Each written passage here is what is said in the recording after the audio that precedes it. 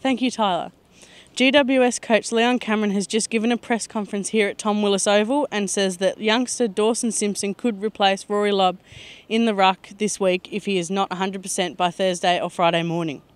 After Lobb's left knee injury in last week's game against the Swans, Cameron is semi confident in Lobb's recovery but has Simpson on the side for a safe bet.